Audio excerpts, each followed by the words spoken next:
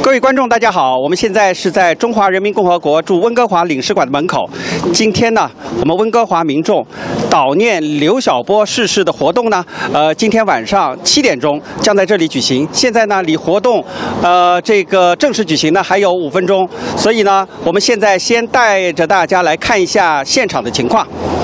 啊、大家可以看到现场呢，这个有很多民众呢已经举着牌啊、这个他们陆续在进场，而且呢，这个在我们这个领事馆的这个牌匾的这个楼上面呢，呃，是刘小刘晓波的一个呃和诺贝尔奖的一个画面，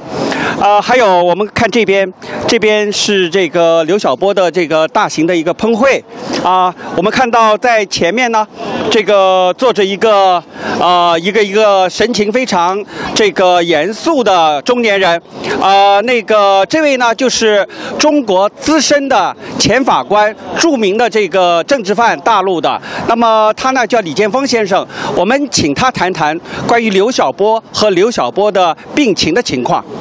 李先生，请您说两。嗯。你好，呃，不少这个观众朋友以及我们来自各方面的朋友向我打听刘晓波到底是怎么死的。呃，说句实在话，我不知道他怎么死的，但是我可以说说政治犯在监狱里面遭受的非人的这个折磨，因为这些经历都是我亲身经历过的。啊，那么首先第一个，政治犯与其他犯人相比，地位极其低下，受尽各种各样的限制和折磨。以我而言，一入监马上就被五十个警察围着我们十个同案犯，啊，这个、暴打。哎，我们稍有挣扎，这个又换来了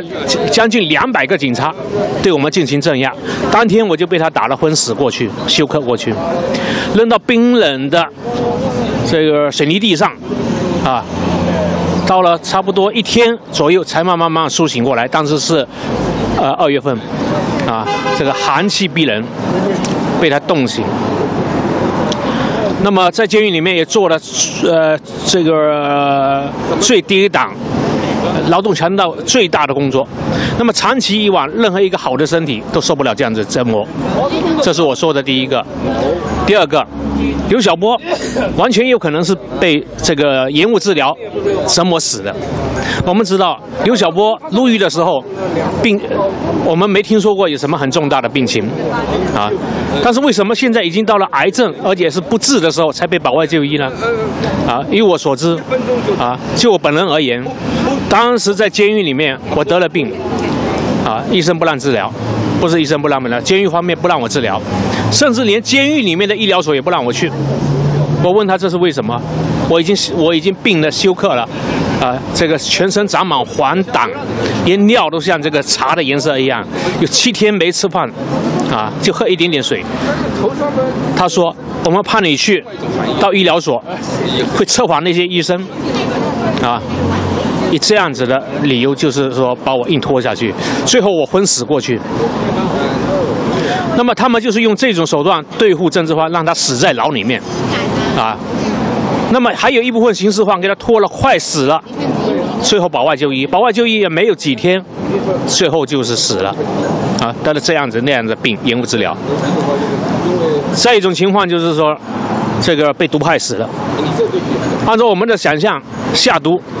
似乎下什么毒药给他吃，或者那什么药丸给他吃，骗他吃，啊，这当然是一种情况可能存在。但是我们最经常见到的一种情况，就是通过食物，通过生活必需品让你中毒，慢慢死死亡。比如说，监狱里面用的那些大米是招标的，这个招标的一斤才几毛钱。这个大米从哪里来呢？是就是战备粮，战备粮放在这个仓库里面，换了十年、八年啊，甚至更长时间。这个米拉回来的话，全部是黄色的，